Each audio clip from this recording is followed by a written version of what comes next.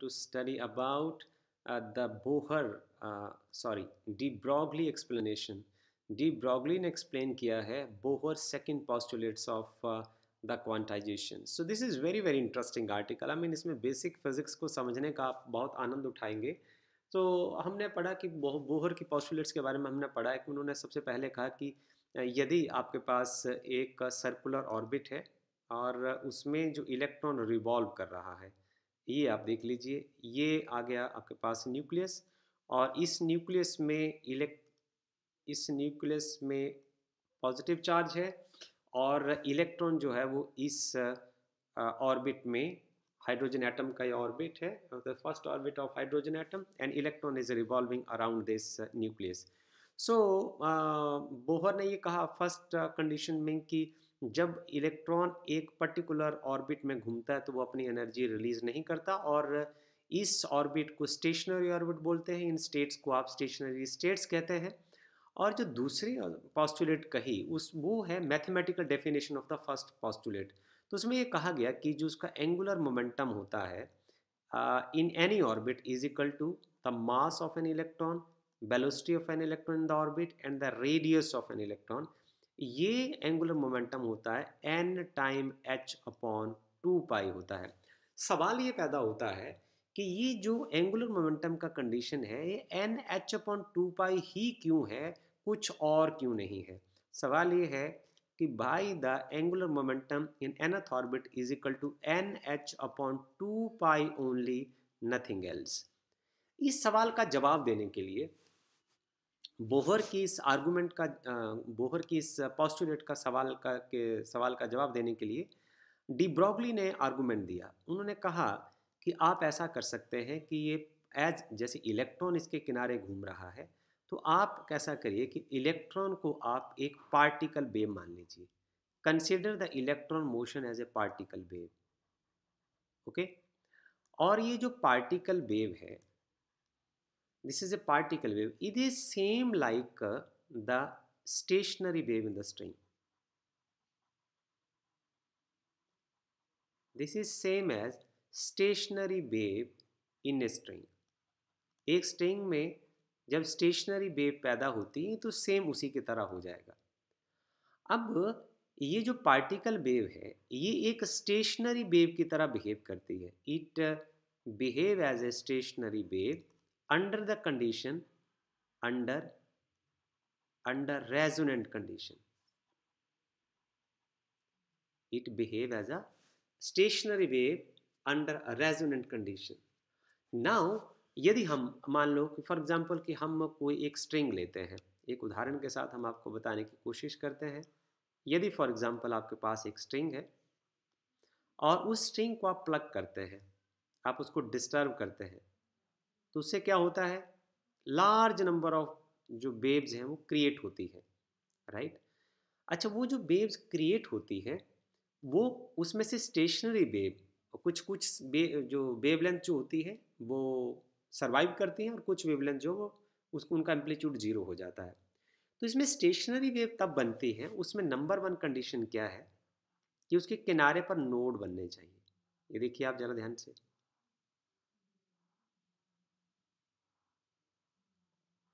Ends के ऊपर क्या बनने चाहिए? नोड्स बनने चाहिए। और दूसरी बात क्या है? It must form the standing wave in the string. और दूसरी एक स्टैनिंग वेव बननी चाहिए। nodes and standing waves are the, are the, are the these are the two conditions for particle wave to behave as a stationary wave okay अब यदि मान लो जितनी नंबर ऑफ़ वेव्स इसको डिस्टर्ब करने के बाद आपने एक स्ट्रिंग ली उसको बीच में से खींच दिया आपने उसको डिस्टर्ब कर दिया उससे लार्ज नंबर ऑफ़ वेव जो क्रिएट हुई।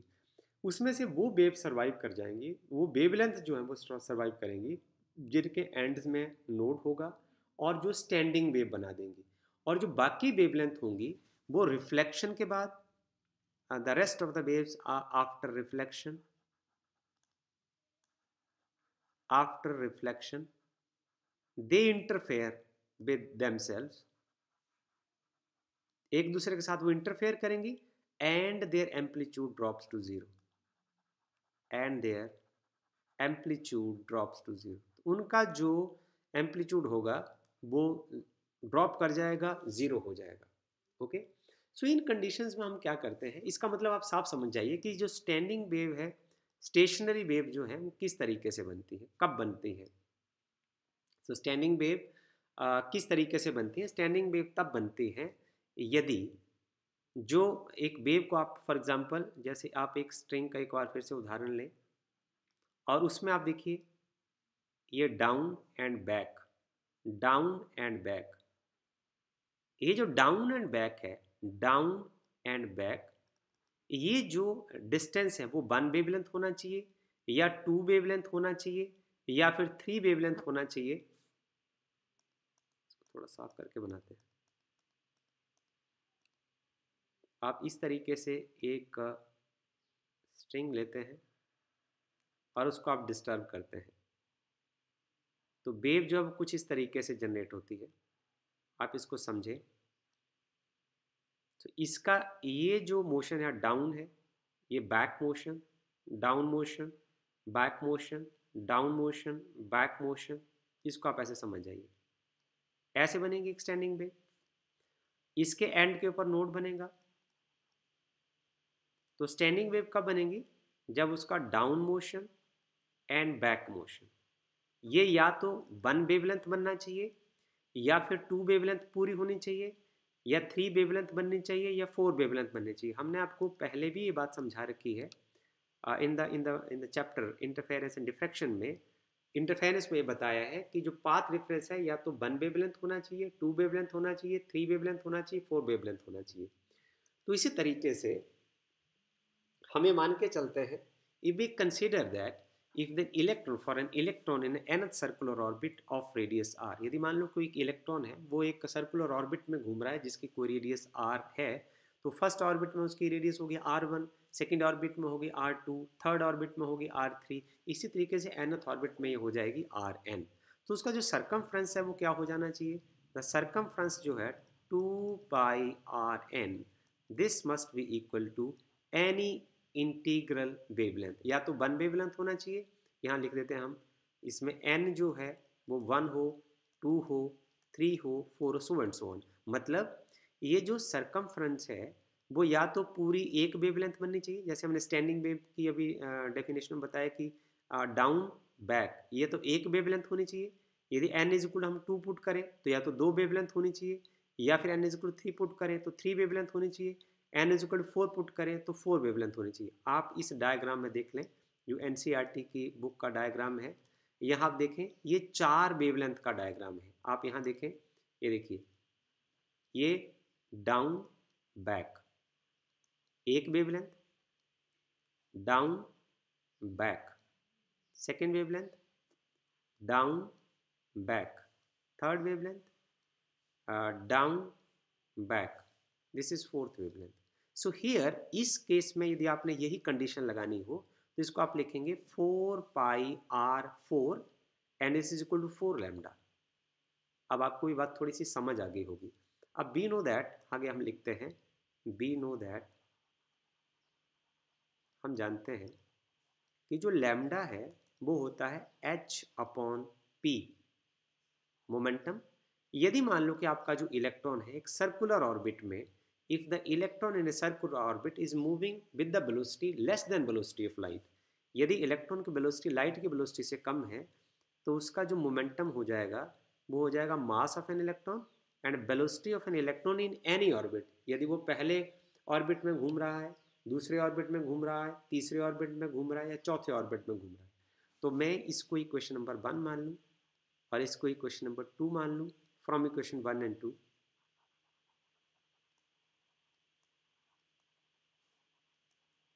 and equation number two, मैं यहाँ लिख सकता हूँ, two pi r n is equal to h upon mass into velocity of an electron, right? So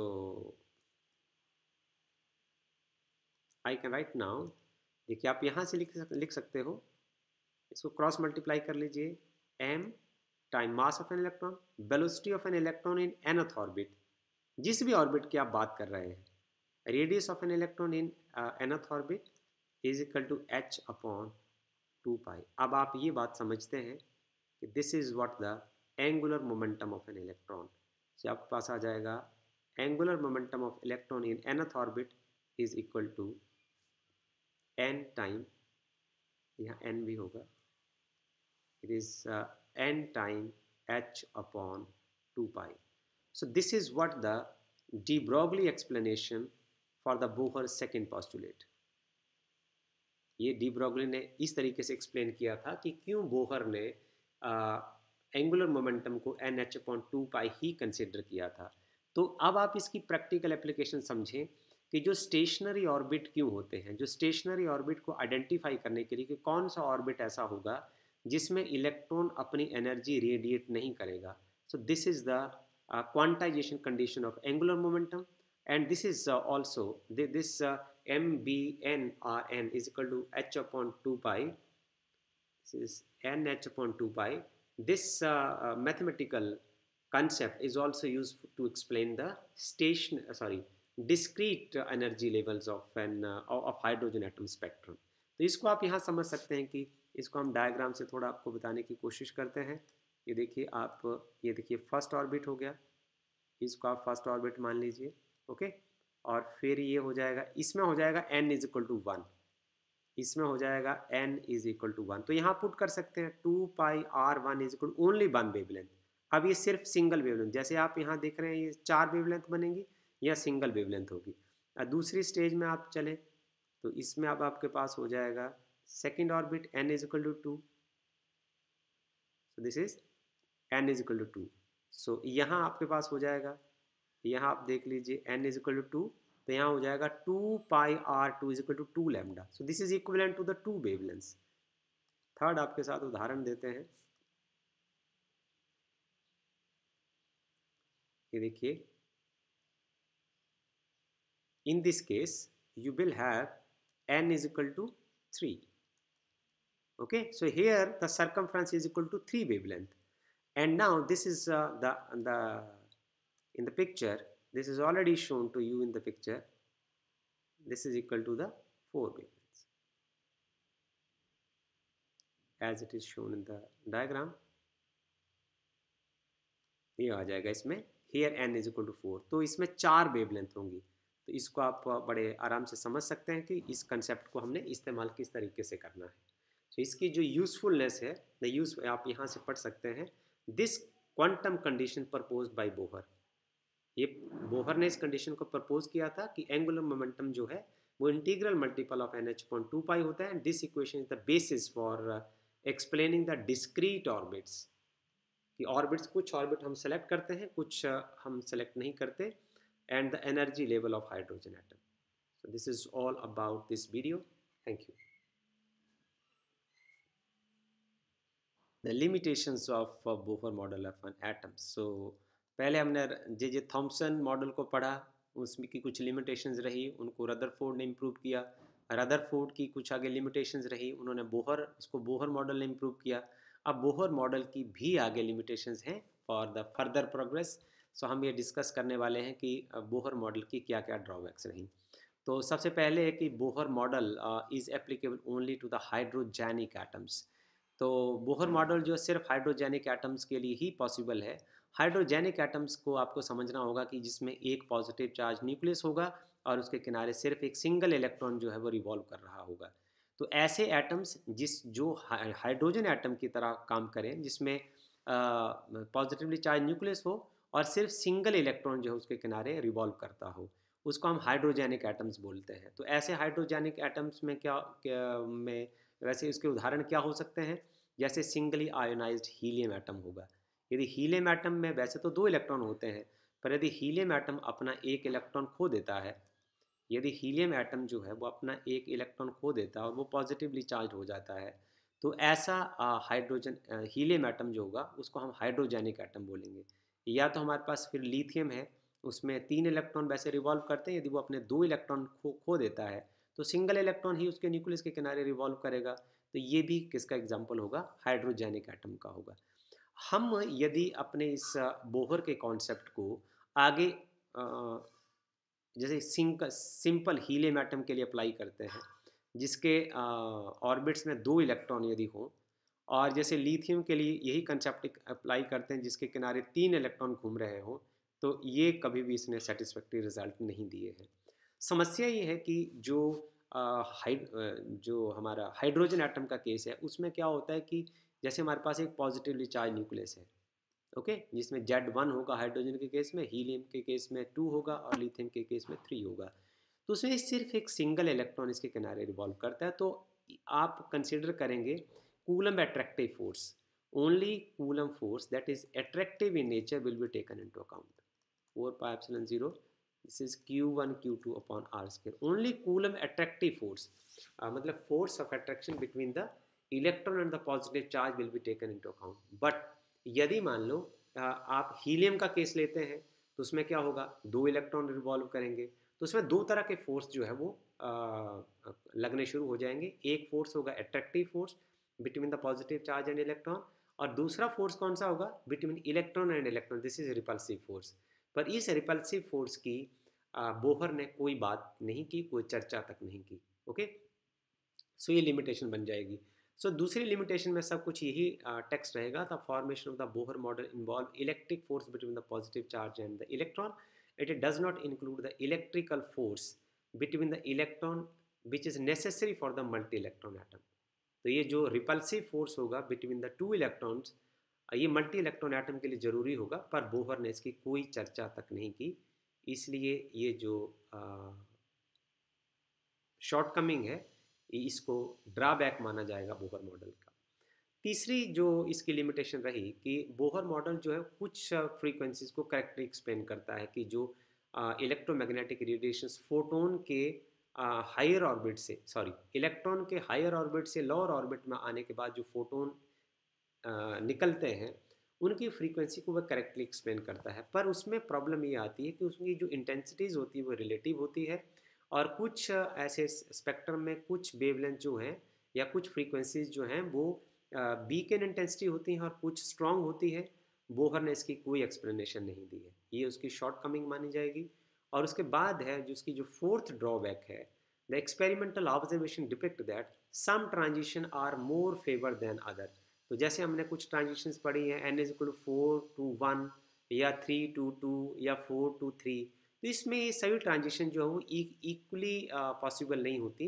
कुछ ट्रांजिशन जो हैं वो ज़्यादा फेवर करता है एटम और कुछ ट्रांजिशंस को कम फेवर करता है। Bohr has no explanation in this regard so this is all about the the limitations of Bohr model of an atom and the question किस तरीके से आपसे एग्ज़ाम में पूछा जाएगा।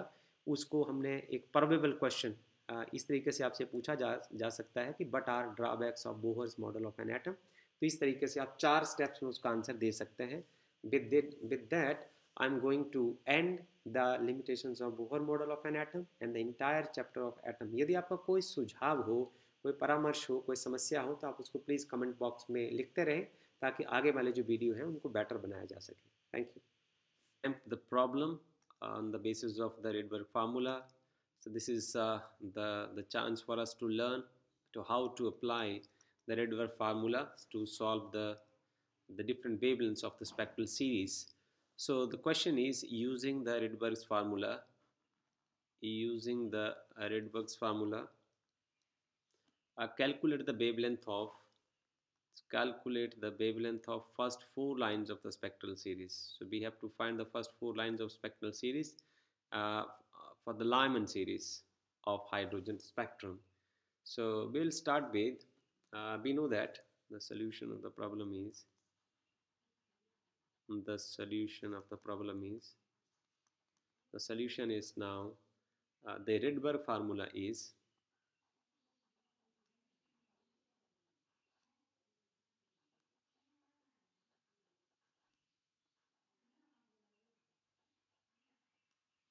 the Rydberg formula is this Rydberg formula is uh, we know that energy energy in any nth state is equal to hc upon lambda between initial and final state is equal to m e की 4 m e की 4 upon 8 epsilon 0 square h square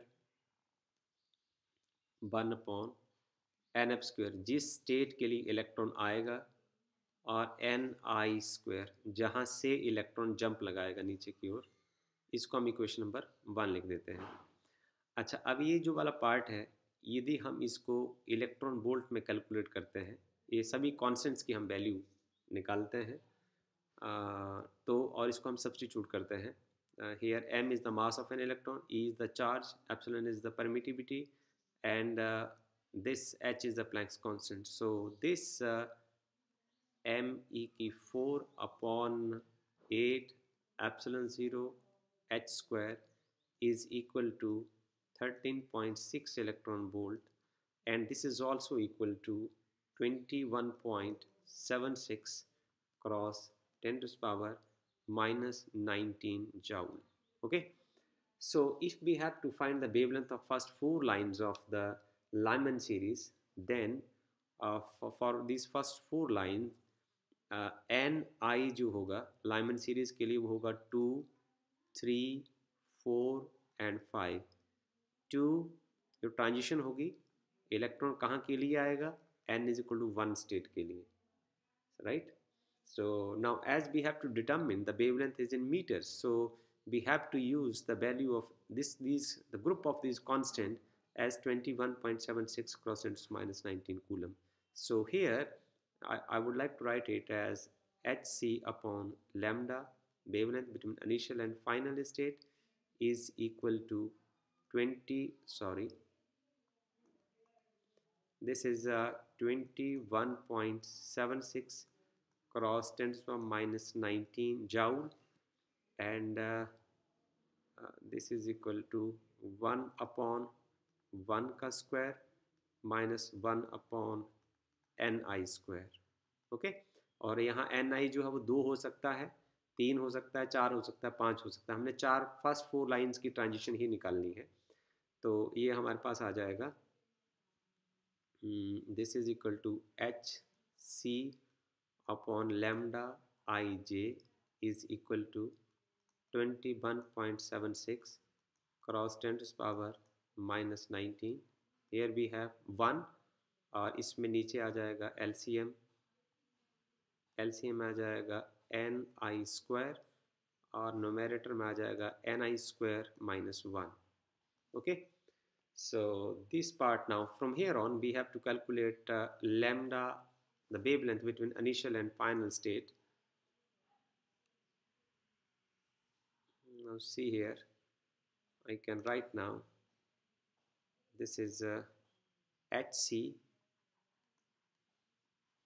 HC upon 21.76 cross 10 to the power minus 19 into ni square upon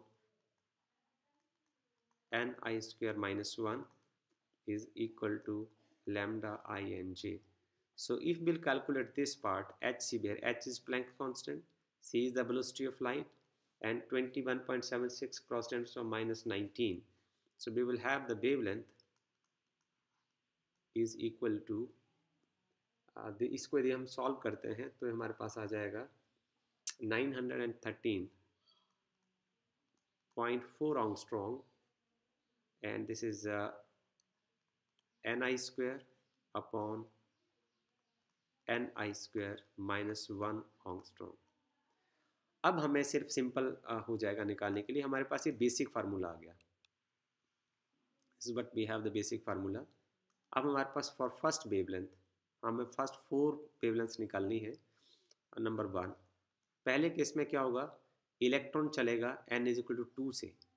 N is equal to two and final stage n i is equal to two हो जाएगा और N F जो होगा वो वो तो already one ही होगा।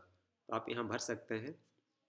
State आ जाएँगे आपके पास टू वन ये आएगा nine thirteen point four n i square n i square means two का स्क्वायर हो जाएगा।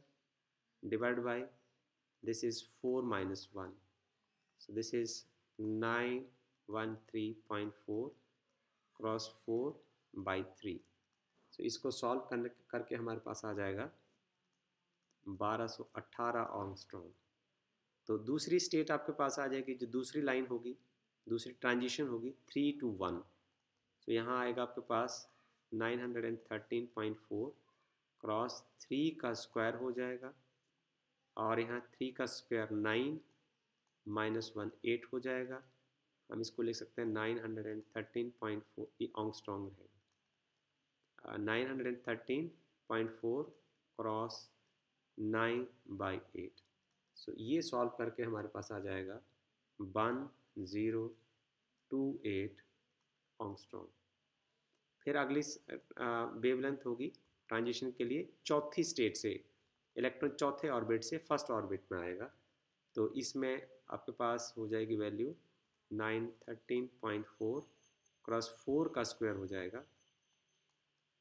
अपॉन फोर का स्क्वायर सिक्सटीन माइनस वन हो जाएगा तो आपके पास आएगा nine thirteen point four cross sixteen point fifteen and this is this is nine seventy four nine seventy four point three angstrom हो जाएगा and the another transition is lambda lambda 5 1 so lambda 5 1 similarly you can write here uh, uh, 9 13 9 13.4 cross this is 25 by 24 and we will have after solving this 951.4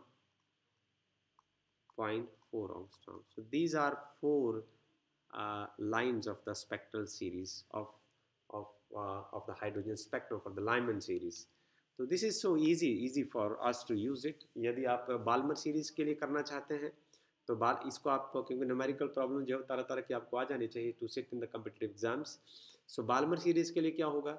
यहाँ one की जगह to हो जाएगा और N आई जो होगा वो थ्री फोर फाइव हो जाएगा। और पास्टन सीरीज़ के लिए क्या हो जाएगा? एन एन फाइनल जो है वो थ्री हो जाएगा और एन आई जो है वो फोर फाइव सिक्स हो जाएगा। सो so, इस तरीके से आप बाकी सीरीज़ को भी सॉल्व uh, कर सकते हैं। Mean you will find it so easy to use this formula thank you